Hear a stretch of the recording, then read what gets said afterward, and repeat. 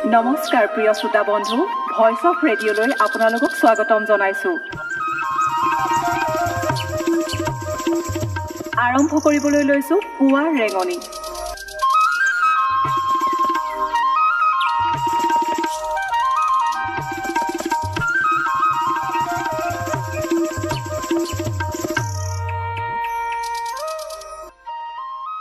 আজি দুহেজাৰ একৈছ চনৰ জুন মাহৰ পঁচিছ তাৰিখ শুক্ৰবাৰ।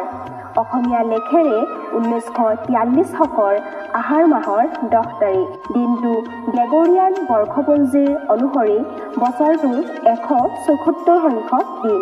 বছৰটো শেষ হ'বলৈ আজিৰ দিনটোৰ পৰা মুঠ এশ ঊনানব্বৈটা দিন বাকী আছে। আজি দিনটোৰ সূৰ্যোদয়ৰ সময় হ'ল পুৱা চাৰি বাজি পঁচপন্ন মিনিট ঊনত্ৰিছ ছেকেণ্ড আৰু সূৰ্যাস্তৰ সময় হ'ল আবেলি ছয় বাজি বাইছ মিনিট ঊনত্ৰিছ ছেকেণ্ড। কৰ্মই আমাৰ আলস্য অসৎ কাম আৰু অভাৱৰ পৰা আঁতৰাই ৰাখে। কথাষাৰ কৈছিল ভলটেয়াই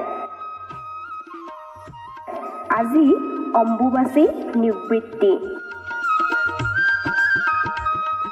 প্ৰিয় শ্ৰোতা বন্ধু আজিৰ দিনটোৰ কেইটিমান উল্লেখযোগ্য ঘটনাৰ বিষয়ে জানো আহক।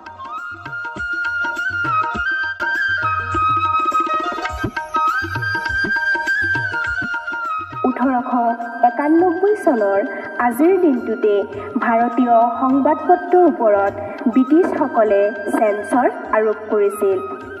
ঊনৈছশ বত্ৰিছ চনৰ আজিৰ দিনটোতে ভাৰত আৰু ইংলেণ্ডৰ মাজত সৰ্বপ্ৰথম টেষ্ট ক্ৰিকেট আৰম্ভ হৈছিল। ঊনৈছশ পঞ্চাছ চনৰ আজিৰ দিনটোতে উত্তৰ কোৰিয়া আৰু দক্ষিণ কোৰিয়াৰ মাজত বিখ্যাত কোৰিয়াৰ যুদ্ধ আৰম্ভ হৈছিল। ঊনৈছশ পঁসত্তৰ চনৰ আজিৰ দিনটোতে ইন্দিৰা গান্ধীৰ প্ৰধানমন্ত্ৰীত্বৰ কালত তৃতীয়বাৰৰ বাবে দেশত জৰুৰী অৱস্থা ঘোষণা কৰা হৈছিল। ঊনৈছশ ছয়ত্ৰিছ চনৰ আজিৰ দিনটোতে ছোভিয়েট ইউনিয়ন আৰু কলম্বিয়াৰ মাজত কূটনৈতিক সম্পৰ্ক স্থাপিত হৈছিল। ঊনৈছশ পঁসত্তৰ চনৰ আজিৰ দিনটোতে পৰ্তুগালৰ পৰা মুক্ত হৈ মোজাম্বিয়ে স্বাধীনতা লাভ কৰিছিল। ঊনৈছশ আঠসত্তৰ চনৰ আজিৰ দিনটোতে নেডাৰলেণ্ডক তিনি এক ব্যৱধানত হৰুৱাই আৰ্জেণ্টিনাই বিশ্বকাপ ফুটবল খেলৰ খিতাপ জয় কৰিছিল। ঊনৈছশ তিৰান্নব্বৈ চনৰ আজিৰ দিনটোতে তুৰস্কত প্ৰথমগৰাকী নাৰী প্ৰধানমন্ত্ৰী তানুচিলাৰ নেতৃত্বত নতুন চৰকাৰ গঠিত হৈছিল।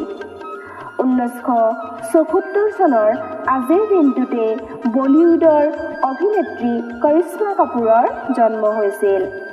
দুহেজাৰ ন চনৰ আজিৰ দিনটোতে মাৰ্কিন সংগীত শিল্পী মাইকেল জেকচনৰ মৃত্যু হৈছিল।